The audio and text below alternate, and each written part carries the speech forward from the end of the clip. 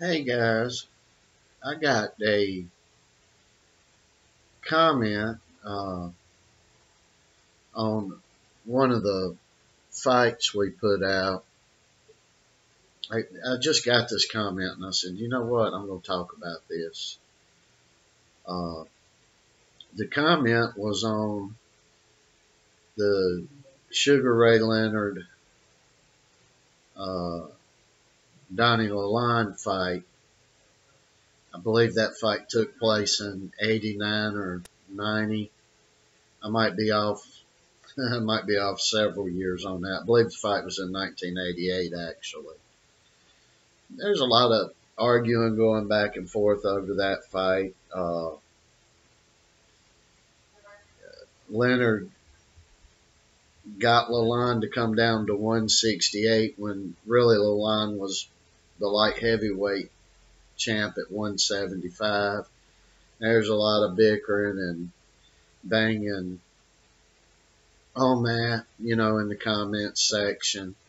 Uh, I really don't get in really involved with that. I'll get involved on the personal videos like this that maybe we put out, but uh, when the folks come on and some of these fights that we've put up are just fights that my son Joe and I like, and uh, and we want people that have never saw these fights to see them, and uh, to see how boxing was.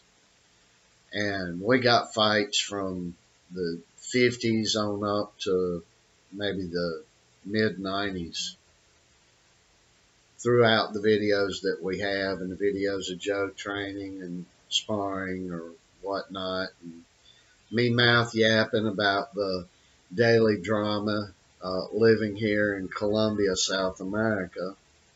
And, but we, uh, I got a comment today, and the comment was, uh, now I'm paraphrasing this comment, and I got it on that fight and the gentleman was uh, not a fan going back and forth. Now we get a lot of comments that's like, "Oh man, fighting boxing was so much better back in the day and whatnot." Uh, but this guy was really spelling it out, and I'm going to paraphrase what he put. He was, you know, boxers just stand there, and other than pivoting there's no no footwork going uh, out of anybody really. Nobody's really dancing around and giving a jab and moving. And he was right about that. Uh, I I don't. Uh, we we practice boxing, so I'm not sitting here watching every fight that goes on in this day and age. Uh, I watch a lot of them. I like watching bare knuckle now, uh, thanks to uh, Danny Christie, who Joe just adores, and I do too.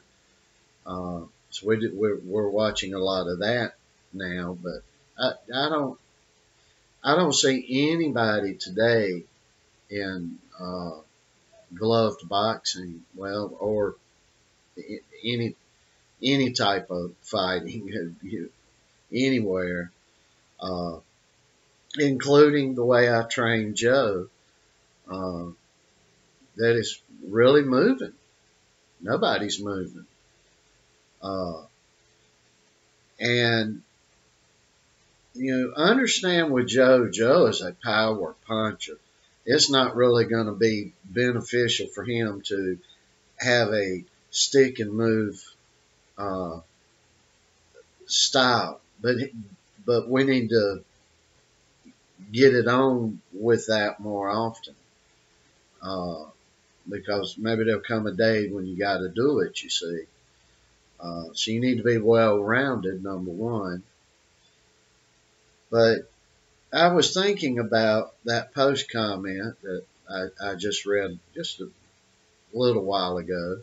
And uh, I'm coming to the realization that I don't really think people are. I, these boxers are really uh, able uh, to move like they did back in the 70s and 80s and 60s. Uh, well, really in 50s and 40s because a lot of people think that nobody was moving until Ali came about, and that's just simply not true. We had guys that could haul ass in that ring with their footwork well before uh, Cassius Clay, who became Muhammad Ali, came about. And but I'm coming to the realization that the, these guys can't stick and move for eight rounds, ten rounds, or twelve rounds. And back in the day, they would move for 15 rounds. You see, uh, a, a 12 round fight would be a non championship fight. Uh, a championship fight would be 15 rounds. And your championship rounds uh, were the 14th and 15th round, not the 11th and 12th that they talk about so much today. So, uh, you know, you know, they say that the nutrition's better, you know, everything's so much better, yet nobody can move for 12 rounds.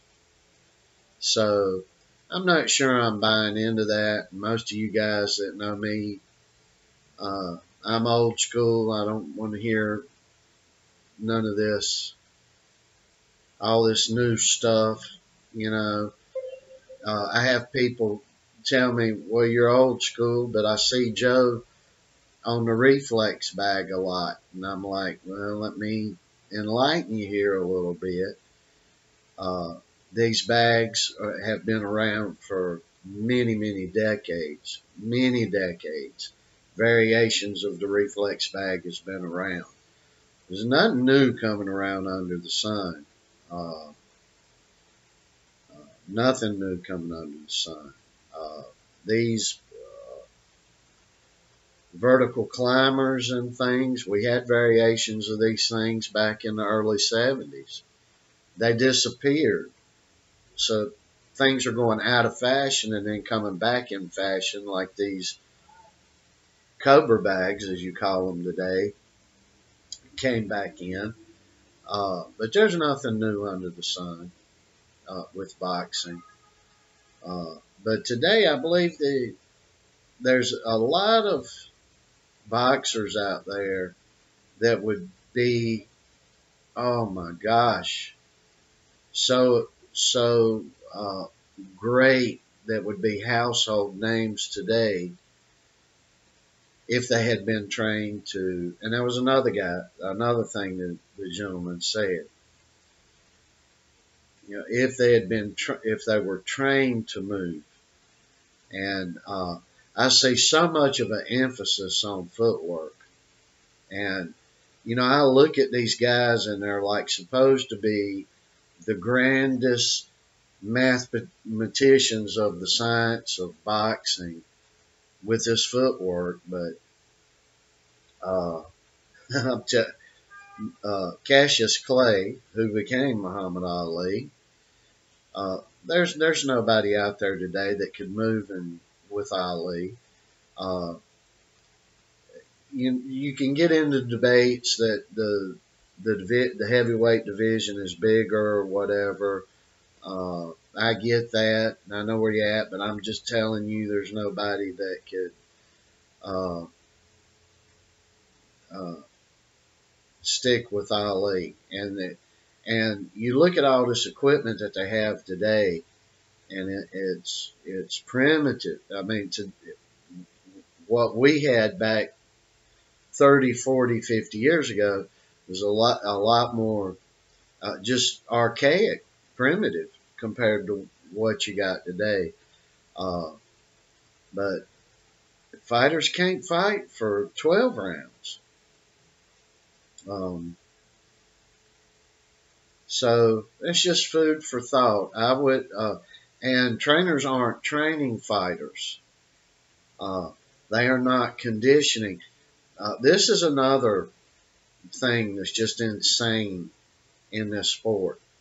Uh, you got a coach over here for this thing. You got a coach over here for this. You got somebody that makes the meals.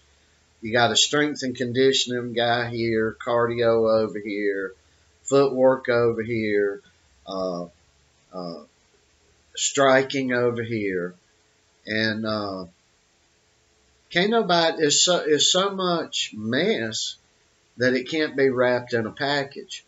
And the guys that are the coaches, trainers today, uh, they've come from that mess. And I believe that's the result as to why that uh, these guys ain't moving around. Them they can move around, they could move around, but uh, they they won't move around long. And uh, young guys today, I'm just as sorry as I can be to tell you this, but uh, people hanging with uh, Sugar Ray Leonard, Tommy Hearns, Roberto Duran, uh, you just own up to Ali or Larry Holmes. No, there's there's nobody uh, that compares. Uh, I often tell people uh, that there are many years in the 1970s where anybody in the top 10 at any given month during certain years in, in the 1970s would completely annihilate any heavyweight today, including the big giants. Uh, nobody's coming along to take down the giants. Uh, any longer, but Jack Dempsey did it. Muhammad Ali did it uh, many times. Uh, uh, uh, I know I ain't pronouncing his name right. Primo Carnero, and I know I'm butchering that. That guy was really huge, and he got a licking. Uh, you, you, you, you go back to Jack Dempsey and, uh, oh my gosh, I can't I, I can't remember the guy he beat for the the heavyweight title.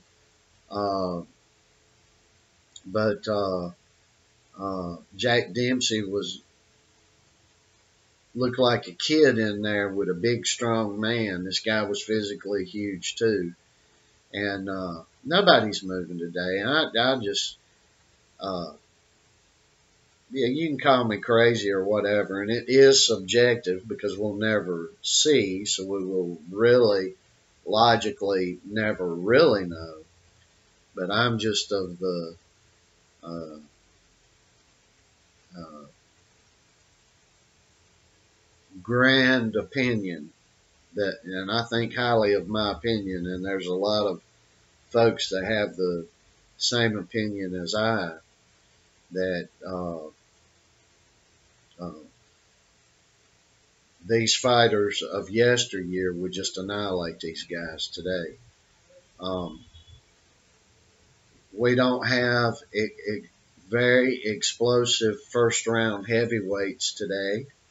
Uh, we don't have heavyweights that uh, uh, that can dance around and outla- outlast a big guy because the smaller guy will be tired out too. Um, Usyk beating Joshua. Newsflash for everybody. Uh, Anthony Joshua, uh, in my humble opinion, has never really been a top tier fighter at any rate. I believe Deontay Wilder would have licked him at any moment and would lick him today. However, I don't think Deontay Wilder is anything spectacular. Uh, in the heavyweight division, we got the uh, Usyk. I don't think he's done much. Uh, he beat uh, Anthony Joshua twice, whom I just I I know is not a top tier guy, and uh, Uh, the, the the best guy going today would be Fury, and, and I'm just convinced that most of the heavyweights back in the 70s would have uh, just completely obliterated him. Uh, it, it's not like uh, he's the only giant champion we've ever had. And that used to be the name of the game, uh, being a giant slayer. And that's just lost to the sport. It's just lost to the sport. Uh, I'm not taking anything away from Anthony Joshua, Deontay Wilder, Fury, or anybody else. Uh, these guys are great for today.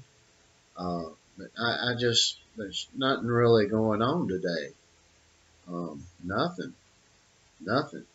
Uh, you go back and you look at a lot of these older heavyweight fights from the 70s, 60s, 70s, 80s, and uh, even Usyk that, that you all think has great footwork and is a fast guy, just looks slow as hell and methodical in his movements. And uh, the damnedest thing is that a big guy uh, can't combat that. Uh, I mean, that's crazy too to me. Uh, course, I'm, you know, I'm just talking of being in and out of boxing for I'm now 50 years now, and what I've seen personally and people that I was able to spend some time with that were champions or uh, people that trained champions and things like that. I'm just a little guy here, but and a little guy in boxing. I'm nobody, but I do know what I see. I do know what I see. And it's just kind of perplexing to me that trainers today aren't training anybody to be able to move. Uh, really, a boxer just needs one or two guys on his team. Uh, this shit about preparing a meal, if you can't figure out what you need to eat and something ain't right with you, uh, you too damn dumb to be be world champion, in my opinion. Uh, it's all about calisthenics. Ali, they say, Ali, what'd you do today? Did you have a good workout? He'd say, yeah, I did 1,346 calisthenics.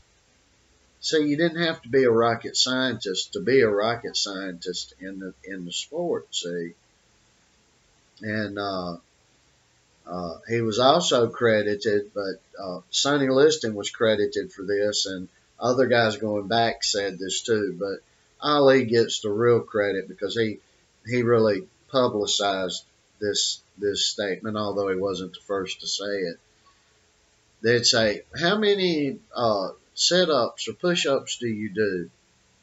Uh, all these different exercises. And he would say, I really don't know because I don't start counting till it's hurt.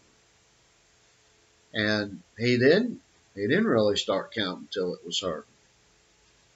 Uh, so it, you uh, all this number and everything and all this stuff, you know, uh, I forget who it was, but somebody told a fighter the fighter wasn't moving or uh, he didn't have the uh, conditioning to make it through 15 rounds. I forget who it was, uh, but there's there's videos about it online here on YouTube. But the trainer told him, said, go over there and start jump roping and I'll come get you when I want you to stop. And I think the guy came back like an hour or two hours later. Might have been three or four. And that, and that, that, that fighter was still jump roping. And it was unreal. Nobody today would be able to be able to do this. And it, the reality of it is that story was probably embellished some because boxing is full of bullshit embellishment anyway. Uh, sorry, but It's just it's all every all of us in this sport. It's a sport of embellishment. And the first guy that says, Nope, I've never embellished nothing that's in the fight game, I'm gonna say, Great, because you're probably the only one on earth.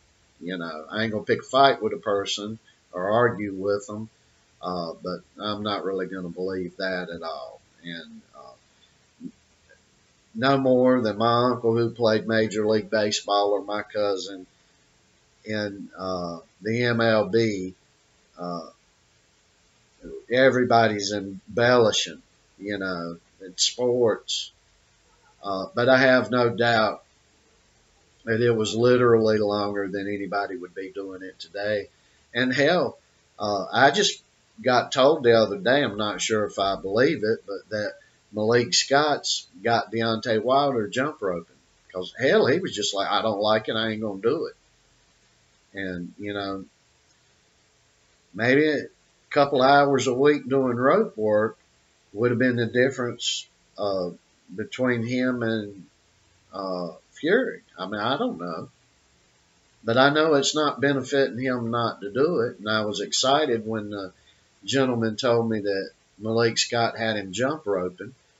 And I forget who told me that, but the person that told me that volunteered that up to me because they knew I had been saying, and I, and I guess they called it online, uh, bitching Wilder out because he lost the belt that we had in the United States. And uh, the, the only one we had, and uh, and I, I knew that he wouldn't jump rope, and I'm like, damn, you know, and you got to have a trainer that's you. That guy's gonna have to be the boss, not the boxer. Uh, there's degrees to that. You win a world championship and you've done defended it ten times. You know, maybe you can start being being the boss. But uh, I mean, I'm not a Dundee fan, and I don't think Dundee knew hardly the hell of a thing about boxing other than sucking the blood out of fighters. But even Ali would listen to Dundee. Uh, Sonny Liston listened, listened to his trainers. Uh, all these guys. It's just today that these. Now we had guys get up and they had they moved around, uh, but a lot of the times, not all the time, but probably the majority of the times, when a fighter uh, had a change of trainers or managers uh, or the combination of the both, uh, it was because the fighter was let go because they wasn't doing what the hell they were told to do. Uh, that's that's generally in the past what happened. Today, these guys they uh, give you another case in point. He's a boy I like. He quit in the fight with Tank Davis. That boy just damn well quit. I know he got hurt, but he quit. Uh, we all get hurt. Uh, and that's Ryan Garcia. And uh, I don't mean to be ugly in saying this. I pulled for him in this last fight. Glad he won. However, uh, it's self apparent to me his ass ain't training worth a shit either. And I don't like it, I'll say something about it. And if I saw his daddy out here or uh, uh, Derrick James is training him now, I'd tell Derrick James, look, you, you got to start hollering at this kid. You got to tell this kid you ain't going nowhere. You got to stay with me. I'm the boss. Do what the hell I tell you to do. If he don't, he ain't gonna win no championships. And uh, that's just my opinion on things. And uh, uh, we got great boxers today. We got wonderful trainers today, but uh, great and more power to them. But I haven't, I haven't uh, seen no Fords, uh, Millers, and I can't even remember people's names. But there's a lot of names I could go down. I'm not seeing uh, trainers like they were back in the day. And uh, It's just as simple as that. But uh, and we're gonna, I'm gonna tell Joe we're gonna start hitting uh, uh, cardio a whole lot, which he does a whole lot anyway. Uh, we're still working on the, they're still getting some equipment set up in the, the gym up here and they are repairing about all the equipment and servicing it still. Uh, so when all of that's completed and uh, but Joe's been doing dumbbell work and a lot of rope work. He's always doing rope work and sit ups and push ups and a lot of that. But uh, we just haven't had access to the speed bag or heavy bags, and that's about it because what we use anyway. Uh, nothing secretive going on about what we do. We just do a lot more than everybody else does. Uh, at his age bracket now, you have to keep in mind he's still in school. Uh, that he's out working half the damn professionals out here. I know because I know what they've done. I've been around it and I know what the hell's going on and I know what people did and I know what they do today. And the attitudes of a lot of the fighters uh, show that to be true. And uh, the root cause is not coming from the boxers. The root cause is coming from the trainer slash coaches.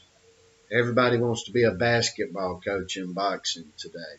That's why I just, um, no offense to anybody that calls themselves a coach, but I, I don't like to be called that, and I'll tell somebody in a second. I, I you know, this ain't no game. I'm not coaching.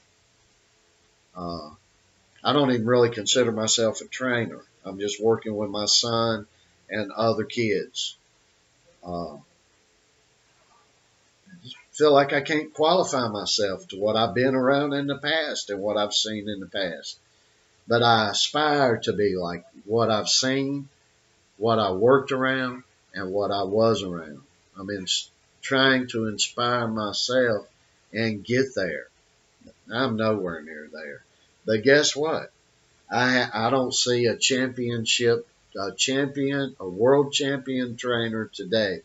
You can go down the whole damn list of them, and I honestly, uh, other than a few technical things, I don't think nobody could do as good a job as I could do. I, I really don't and sure as hell not in the strength and conditioning and cardio and all this, and sure as hell not on developing punching power. That's another myth out there. You're either born with it or you ain't. Yeah, no, you. Uh, if you're born with it, you can make it great, excellent, great, great, great. Uh, but if you've got weak punching power today, there is a hell of a lot of things you can do to improve it. And these basketball coaches out here, they're not showing these guys what to do to improve that. And it's just beyond me. You know, it's not not a lot of rocket science going on to get a boy to punch harder and help them along and teach them and teach them leverage and uh, positioning and and, and strengthening their body up without slowing them down with a bunch of heavy muscle tissue. Uh, but I don't know. That's my rant for today. If anybody watches this, we don't have but a few people that uh, really listen to my old bud anyway. Uh, I, I wouldn't expect anybody to. I consider my own self boring. Uh, but to those that you do li- that do listen, uh, if you don't want to listen to my old butt, go listen to an old fella. Because uh, sitting and learning and being taught by somebody that's the same age as you or younger or uh, still trying to be hip and fashionable in any way, shape, or form probably ain't the, the, the road you want to go down in the fight game. Uh, there needs to be more Mickeys out there. Uh, we need more mix. And uh, less of a lot of other guys.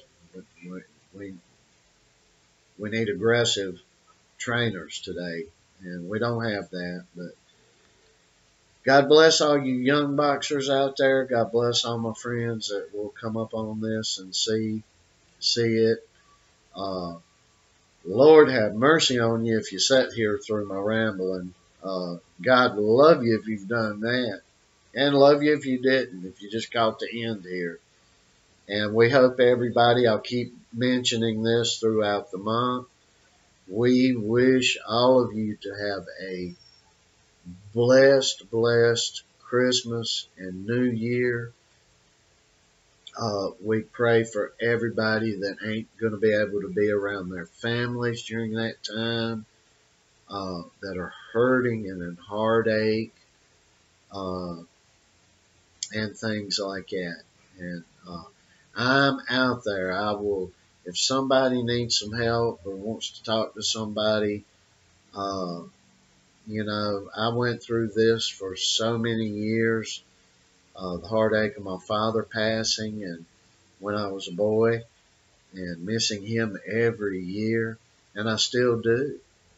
I still, you know, grow, uh, if you, if you're a good son, you'll never grow out of missing your daddy. It's just as simple as that. So, and there's a lot of losses going on. Uh, I'm training one kid. He's uh, his mother died when he was 11, uh, like my dad did when I was 11, and uh, it's just a hard time. And uh, but at any rate, I'll quit babbling. We wish you blessings, and we pray that you're not alone and that you don't feel alone. And we, I pray that my King, who is Jesus, the King of the Kings, uh, can give you a sense of fullness, calmness, and easiness during these holidays. And we love you all.